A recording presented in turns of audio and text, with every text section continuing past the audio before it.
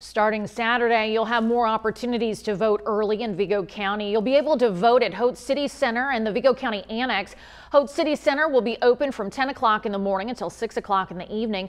Operating hours for the Vigo County Annex will be from 8 o'clock in the morning until 4 o'clock in the afternoon. And more early voting locations will open up next Tuesday. They include the Meadows Shopping Center, the Vigo County Solid Waste Management Office, and IBEW Local 725. You can also cast your ballot the West Vigo Elementary School Conference Center and at the Operating Engineer's Office. And all of these locations are going to be open from 10 o'clock in the morning until 6 o'clock in the evening, Tuesday through Saturday.